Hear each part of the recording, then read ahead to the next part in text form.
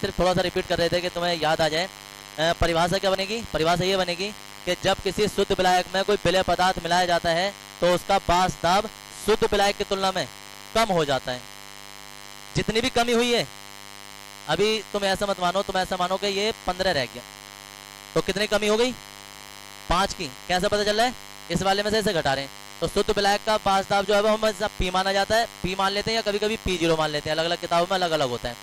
P zero से zero से यह पहचान पड़ जाती है कि शुद्ध विलायक का, शुद्ध के लिए। और ये बिलियन का होता है तो इसे नीचे एस से दर्शा देते P S S for solution तो ये शुद्ध विलायक का हो जाता है ये बिलियन का हो जाता है। तो हम कहेंगे कितने कमी होगी? पाँच की। कैसे पता चल रहा है कि पी ज़ीरो में से पी एस घटा रहे हैं हम? समझ में आ कोई कहे, कमी हो रही है तो ज़्यादा वाले में से कम वाला घटा रहे हैं। इसी कमी को, इसी कमी को बास दाब में अवनमन कहते हैं। दाब में अवनमन। अवनमन का मतलब होता है कमी और उन्नयन का मतलब होता है वृद्धि। तो कमी हो जाती है। अब हम कह रहे हैं, भाई, पाँच की कमी हो रही है। तुलना किसकी देखी जा रही है हम? तुलना करते हैं इससे, प्रारंभिक मान से। तो प्रारंभिक मान बटे में आ जाता है। तो ये आ जाती है आपेक्षिक अपनमन आपेक्षिक अपनमन आपेक्षिक अपनमन का मतलब होता है कि अगर जिस चीज़ से तुलना की जा रही है, वो चीज़ बटे में हो। जैसे मैं कल भी बता रहा था कि अगर तुम्हारे नंबर जो है वो सोचो फिजिक्स में आ, कितना आए हैं? छिहत्तर नंबर आए हैं। तो किसकी तुलना में आए हैं? कितने में से? सौ में से। तो ये जो मान आया है ये पूरा का पूरा मान आपेक्षिक मान कहलाता है कि तुलना इससे करते हैं और इतने नंबर आए हैं। तो हम कहेंगे पाँच की कमी हो गई है। कितने में से? टोटल में से। तो इसे कहते हैं आपेक्षिक मान। सही है? तो अब हम इसमें लिखने वाले हैं जो हमारा कल का जो जो भी लिखा है जिसने भी मैंने देख लिया क्या लिखा है उसके जस्ट नीचे ब्लू पेन से तुम्हें लिखना है। कि यदि, ऐसे करके देखते रहो, यदि शुद्ध विलायक शुद्ध विलायक का बास दाब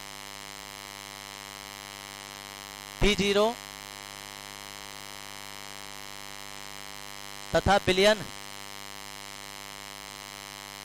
का पास दाब पीएस हो तो ये बिलियन का पास दाब पीएस हो तो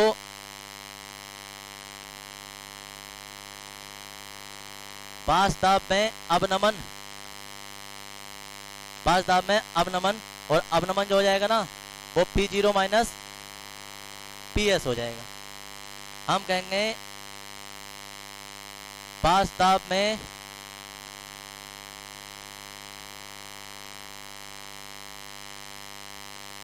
दाब में आपेक्षिक अवनमन P zero minus P S upon P zero क्या परिभाषा बनेगी? परिभाषा बनेगी इस प्रकार। इस प्रकार के बाद में हमेशा कोमा आता है।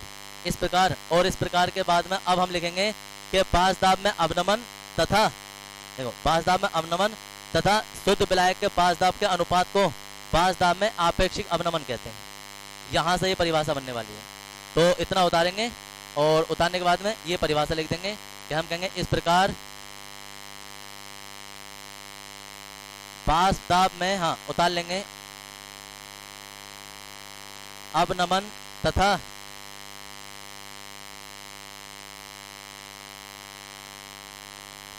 शुद्ध विलायक शुद्ध विलायक के पास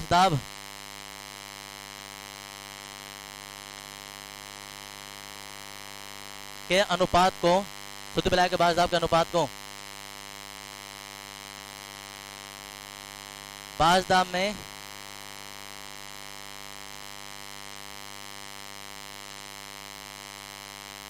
आपेक्षिक अवनमन कहते हैं। दाब में आपेक्षिक अवनमन कहते हैं। यहाँ से लेकर यहाँ तक कंप्लीट परिभाषा यहाँ तक देंगे। लिखवा दी वाली बात? तो अरे सुनो उधर, मिटा नहीं रहे। यहाँ तक लिखवा जिसने कल ना लिखा हो ना तो वो यहाँ तक लिख देना। उधर टोटल आ जाएगा और जिसने कल लिख ली थी वाली बात है तो वो यहाँ तक लिखेगा। यहाँ तक। हाँ कंप्लीट यहाँ तक। तो दोनों बात होती हैं। अरे सुनो उधर, दोनों बात होती हैं। ये लाइन चाहे ऊपर लिख दो या सूत्र लिख के ये वाली लाइन नीचे लिख दो, कैसे भी लिख सकते इतना उतार लेंगे।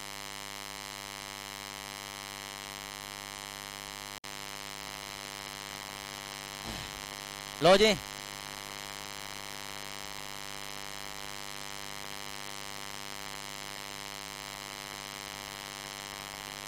राउल्ट का नियम। जैसे ग्रेविटी के लिए न्यूटन का नियम जाता, न्यूटन का नियम, कि न्यूटन का नियम कोई तोड़ नहीं है, कोई फेल नहीं है, कि जो भी चीज़ें न्यूटन के नियम के अनुसार चलती है, जितनी भी हमारी इलेक्ट्रिसिटी होती है ना, वो गुलाम के नियम के अनुसार ही चलती है। या जितने भी हमारे पास विद्युत चालन होता है, वो ओम के नियम के अनुसार होता है। नाम सुनिए ओम के नियम के अनुसार ही होता है। या ये जब कुंडली घूमती है ना कोई चीज़ तो वो फेराटे के नियम के अनुसार ही घूमती है। कैसे कैसे उसमें बल लग रहा है। तो ऐसे जितने भी बिलियन होते हैं ना बिलियन वो इन्हीं का कहना मानते हैं। ये कुछ नियम जो होते हैं ना, ये प्राकृतिक नियम होते हैं, आदर्श नियम होते हैं। आदर्श नियम। आदर्श नियम का मतलब होता है कि इनका कोई तोड़ नहीं है, ये अपने आप में सर्वगुण संपन्न होते हैं छोटी मोटी सीमाएँ होती है, वो ठीक है। लेकिन जो भी चीज़ है, जिस चीज़ से संबंधित है, उन्हें इस चीज़ का कहना मानना पड़ेगा। सर्किट में अगर जो कोई धारा बह रही है तो वो कृषोभ के नियम का पालन करती है। वो अलग अलग तरीके के होते हैं तो वो परिपथ माने जाते हैं, या कोई बिलियन माने जाते हैं कुछ है, जो भी है तो वो उनका छोटे मोटे नियम तो बहुत पढ़े हो तुम, और पढ़ते भी आ रहे हो, उसका नियम उसका नियम, उसका किसके? लेकिन जो कंप्लीट आदर्श नियम होते हैं, वो कुछ खास ही नियम है दुनिया में, उनमें से एक ये है राउल्ट का नियम।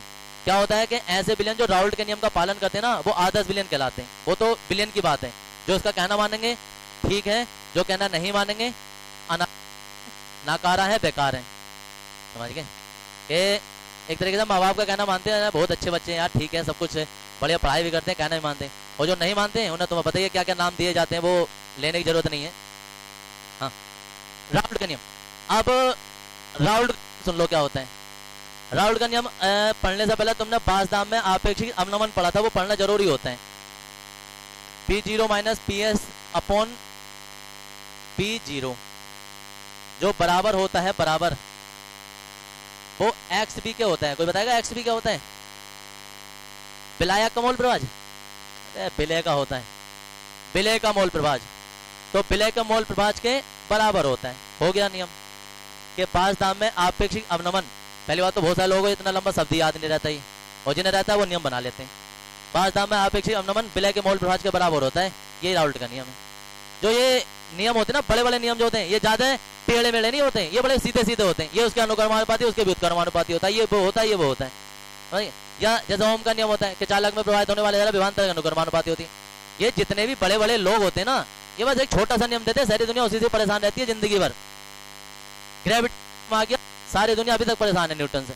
कुछ नहीं कर पा रहे हैं, सब कुछ इधर उधर भागे फिरते रहते हैं, उसका कुछ नहीं बिगाड़ पाते। ऐसे ये भी होते हैं कि दाम में अपेक्षित अवनमन जो होता है, विलय के मोल प्रभाव के बराबर होता है, अब करते हो गणना। नीचे को आर्टिकल भी आएगा, इसका ग्राफ भी आएगा, इसी से आदर्श विलियन बनेंगे, इसी से अनादर्श विलियन बनेंगे, इसी स्थिर विलियन बनेंगे।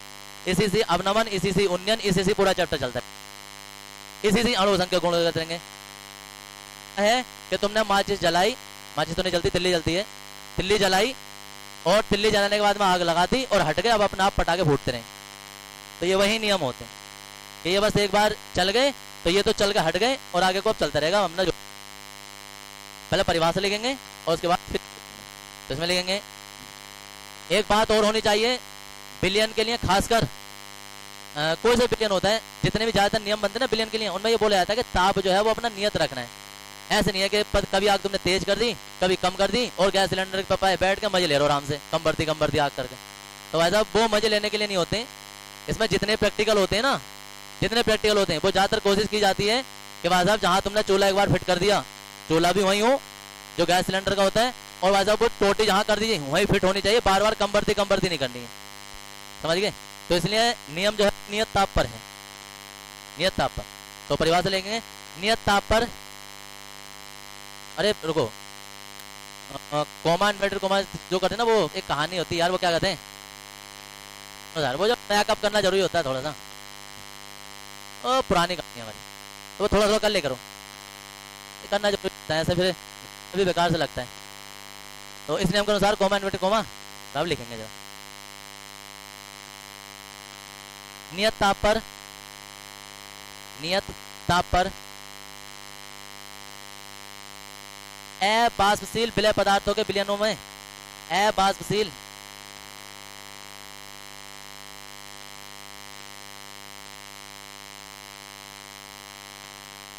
अबाष्पशील विलय पदार्थों के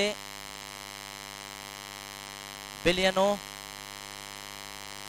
बिलियनों में बास दाब। बास दाब में आपेक्षिक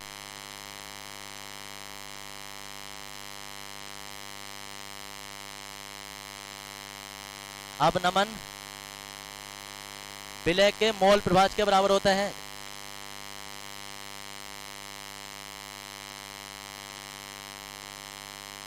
बास दाब में आपेक्षिक अवनमन विलय के मोल प्रभाज के बराबर होता है। बास दाब में अपेक्षित अवनमन तो कहाँ लिख दिया बास दाब? चलो, यहाँ तक। इन्वर्ट को बंद कर देंगे।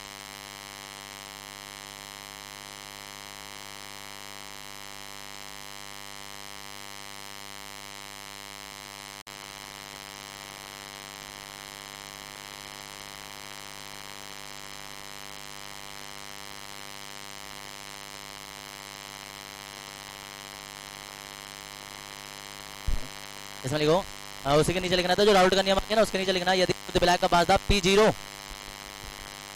पी ज़ीरो तथा बिलियन का बास दाब तथा बिलियन का बास दाब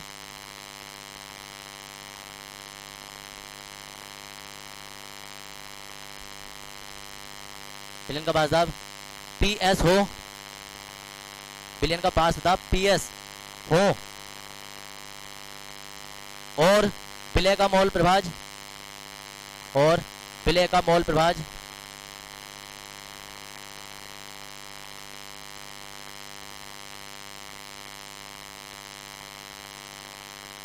मोल प्रभाज एक्स भी हो एक्स भी हो, तब, और तब ये सब लिख देंगे।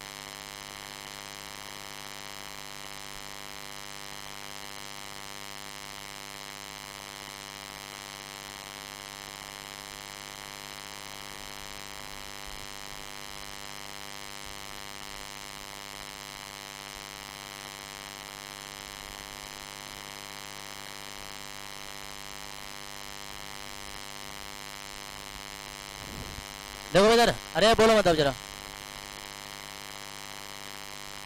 नीचे लिखेंगे व्यंजक।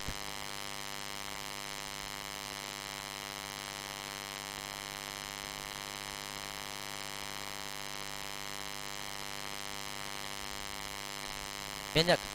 अब देखो राउट का नियम जो होता है ना, वो दो प्रकार से काम करता है। सही से सुन लेना जरा। एक शब्द आया तुम्हारे पास ये। बाष्पशील। बाष्पशील क्या होते हैं, ऐसे पदार्थ जिन्हें गर्म करें, उनकी बास बन जाए। सिंपल सी बात होगी जो नाम है, वही काम है। बाष्पशील जिनकी बास बन जाए। और अबाष्पशील जिनकी बास ना बने। हमने जल है हमारे पास कोई ऑलरेडी पहले से ही। जल है, जल हमारे पास विलायक है। हमें विलायक से मतलब ही नहीं है। हम बात करते हैं विलय पदार्थ की, क्योंकि हम जो डाल रहे हैं। तो हम डालने वाली चीज़ देखेंगे कि जो डाल रहे हैं, उसकी गर्म होने पर बास बनेगी या नहीं बनेगी। ठीक है जी?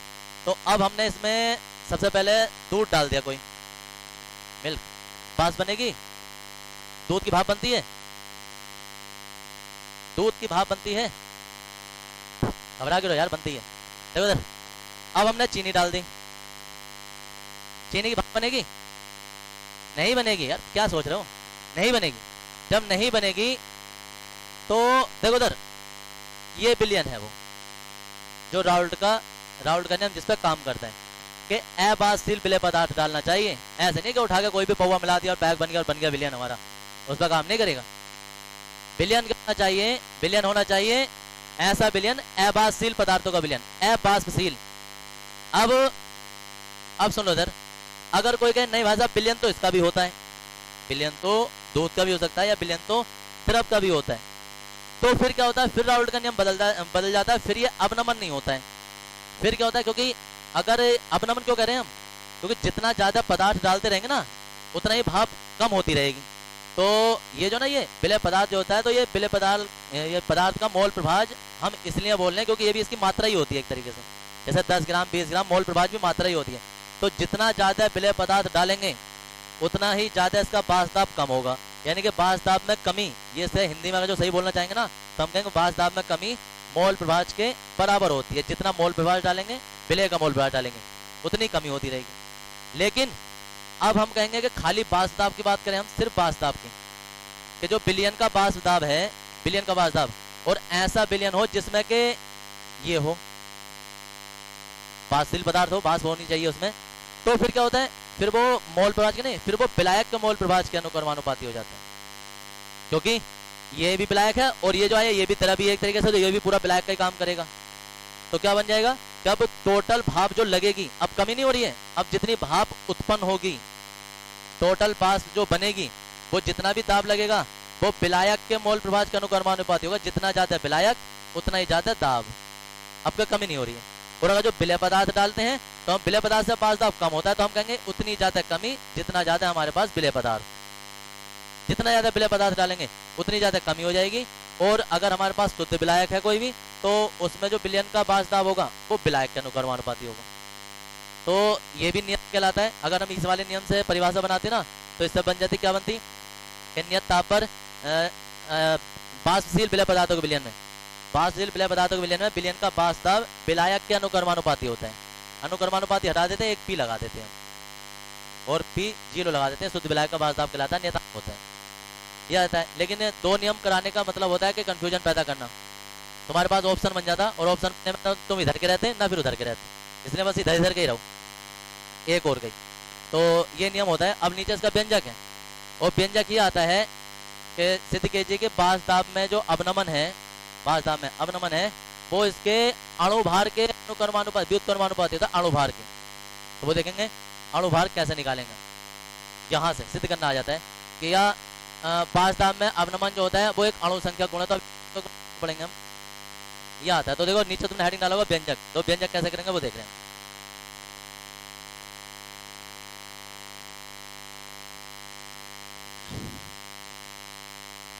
हाँ देखो जरा। इसमें हाँ जी। क्वेश्चन है कुछ?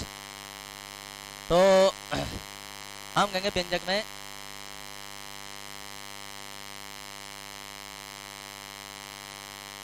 राउल्ट के नियम से। और राउल्ट का नियम क्या है अभी? P zero minus P S X भी अगर किसी को याद आ रहा हो ना, हम कहेंगे यदि, देखो उधर यदि विलय के मोलों की संख्या स्मॉल एन तथा विलायक के मोलों की संख्या कैपिटल एन हो, तब ब्लैक मोलों की संख्या कैपिटल एन हो तब। तब में क्या हो जाएगा भाई, तब में क्या हो जाएगा फॉर्मूला तुम्हें पता है कि P zero minus P S upon P zero मोल प्रभाज में हमने पढ़ लगा है कि विलय के लिए ऊपर स्मॉल एन आएगा और नीचे स्मॉल एन बटे कैपिटल एन ठीक है जी? देख लेना कोई क्या हो रहा है देखता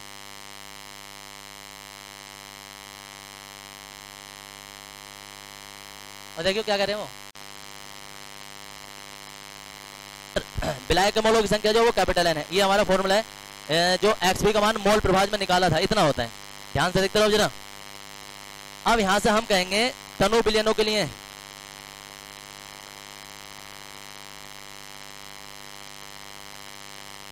तनु बिलियनों के लिए क्या हो जाएगा? तनु बिलियनों में, तनु बिलियनों के लिए स्मॉल एन का मान बहुत बड़ा होता है। ये कैपिटल एन का मान बहुत बड़ा होता है स्मॉल एन से। अतः अतः स्मॉल एन को नगण्य लेने पर अब किसी के दिमाग में ये ना हो कि इसे भी ले लेंगे। दरअसल हम इसकी तुलना में ले रहे हैं। जैसे एन का मान हमारे पास दस होता है, ये दस दशमलव एक होता। तो दस दशमलव एक को हम नगण्य ले लेते हैं एक को। लेकिन ऊपर से हम ज़ीरो कर देंगे तो ये सारा खत्म हो जाएगा तो ऊपर वाला मान ज़ीरो नहीं होगा।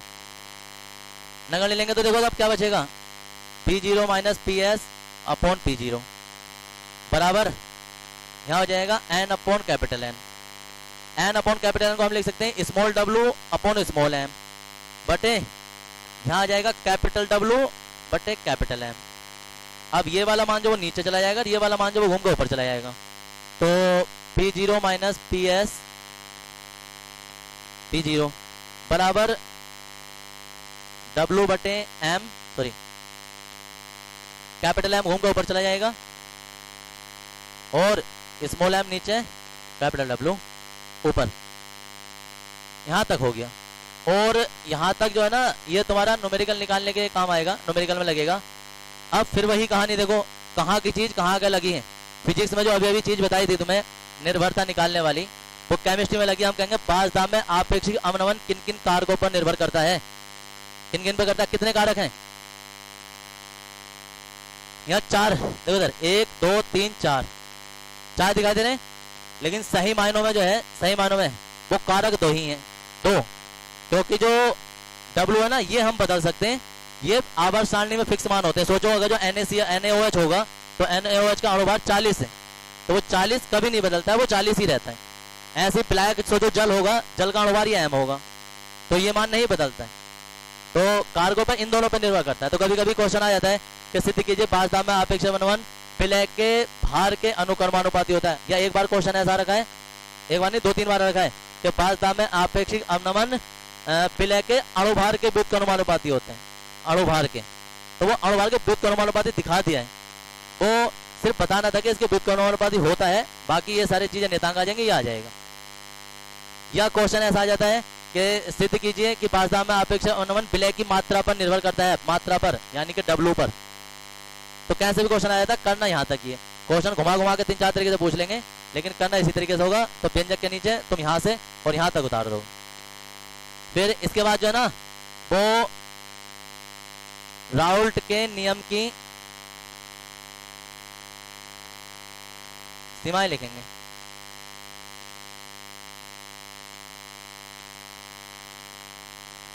क्या नहीं लिखा हाँ इसमें कुछ नहीं लिखना। देखो इधर, एक बार सीमाएँ देख लो, छोटी सी दो तीन सीमाएँ। हैं क्या होता है? राउल्ट का नियम नंबर वन जो है ना, ये तनु बिलियनों पर लागू होता है। हम कहेंगे राउल्ट का नियम केवल तनु बिलियनों पर लागू होता है। राउल्ट का नियम अपना आप ऐड कर देना।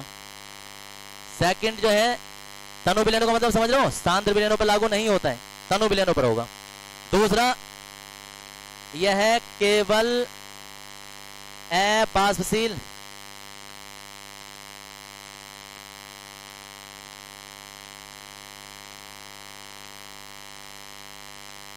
अबाष्पशील विलय पदार्थों के बिलियनों। विलय पदार्थों के बिलियनों। पर लागू होता है। केवल एवासिल एवासिल का मतलब समझ रहे हो? जो कि चीनी वाले जैसे होते हैं, ऐसा कुछ। और थर्ड बड़ा इंपॉर्टेंट है। यह उन विलय पदार्थों पर लागू नहीं होता है, जो बिलियन में पहले से उपस्थित हैं।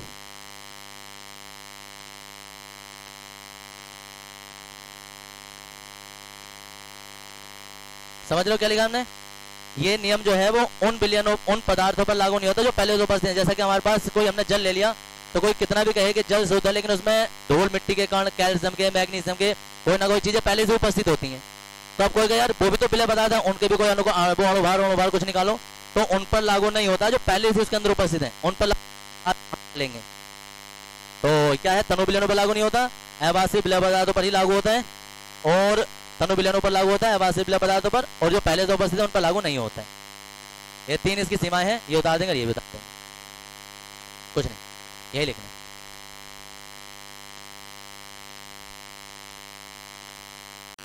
आदर्श बिलियन हेड। आदर्श बिलियन। और जी, आदर्श बिलियन में लिखेंगे हम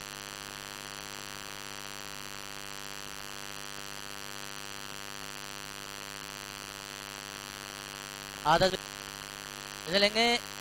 पहले तो समझ लो क्या है, ऐसे बिलियन जो राउल्ट के नियम का पालन करेंगे, जो करते हैं, उन्हें मार लो, तोड़ लो, कुछ भी कर लो, कि जितना भी उसमें, क्या है परिभाषा के, वे बिलियन जो सभी परिस्थितियों में, सभी परिस्थितियों मतलब कोई सी परिस्थिति हो, ठंड हो, जाड़े हो, गर्मी हो, कुछ भी हो, वो राउल्ट के नियम का पालन करेंगे, वो आदर्श बिलियन कहलाते हैं। और कमाल की बात यह है कि दुनिया में कोई भी आदर्श विलियन नहीं है। आदर्श दुनिया में कुछ भी नहीं है, क्योंकि तो आदर्श का मतलब एक ऐसी चीज़ काल्पनिक चीज़ मान ली जाती है कि यार जैसा होगा तो तो, तो ठीक है और जैसा नहीं होगा तो ठीक नहीं है। तो इसका मतलब क्या है कि उस जैसा कभी कोई होता ही नहीं है सर्वगुण संपन्न कोई नहीं होता है। कुछ ना कुछ कुछ ना कुछ किसी ना किसी में कमी रहती रहती है। कुछ बिलियनों को आदर्श मान लिया जाता है बेंजीन और टालुइन के बिलियन को लगभग लगभग आदर्श के करीब माना जाता है। कुछ बिलियन है। हैक्सेन और हेप्टेन का मिश्रण है इन दोनों को आदर्श बिलियन माना जाता है। क्लोरोबेंजीन और ब्रोमोबेंजीन है इन्हें मान लिया जाता है इन दोनों के बिलियन को। तो ऐसे कुछ बिलियन है जो कि लगभग लगभग आदर्श है, आदर्श नहीं है। परिभाषा लिखे मिलेंगे वे बिलियन, वे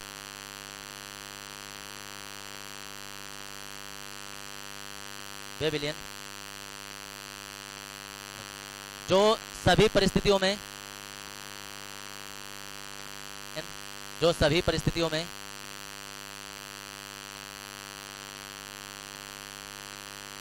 वे विलियन जो सभी परिस्थितियों में राउल्ट के नियम का पालन करते हैं, सभी परिस्थितियों में राउल्ट के नियम का पालन करते हैं।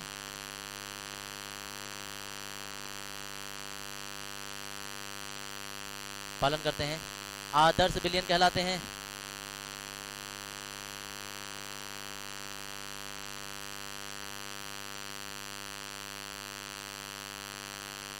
फिर सब लगा लेंगे, आदर्श बिलियनों में आदर्श बिलियनों में।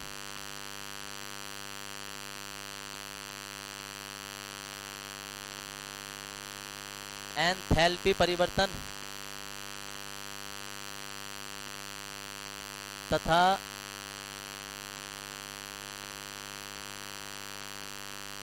आयतन परिवर्तन शून्य होता है।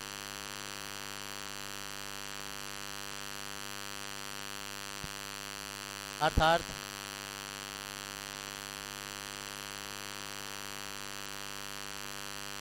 वे बिलियन जो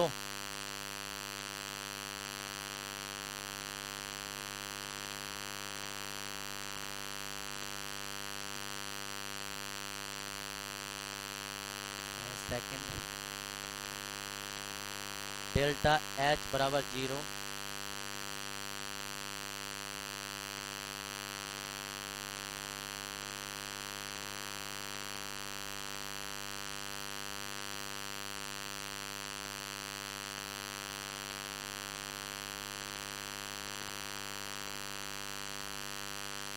जैसे में आ जाएगा, उदाहरण है ये। बेंजीन अभी एक लाइन लिख दो। सामान्यतः, कोई बिलियन कोई बिलियन,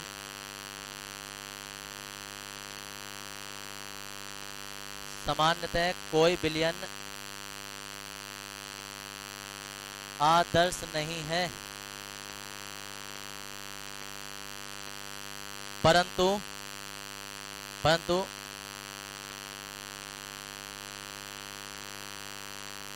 कुछ बिलियन लगभग, कुछ बिलियन लगभग आदर्श की भांति।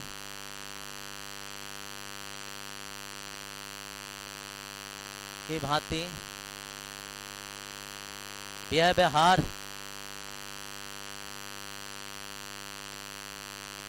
करते हैं जैसे बेंजीन तथा टालोइन। हाँ जी। हेक्सेन तथा हेप्टेन का विलयन जो होगा।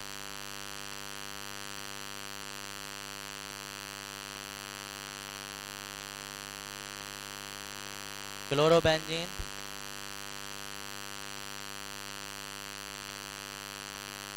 ब्रोमोबेंजीन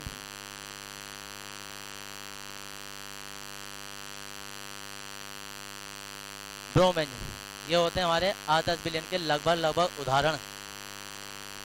कुछ बिलियन जैसे जैसे होते हैं, होते नहीं है पूरे।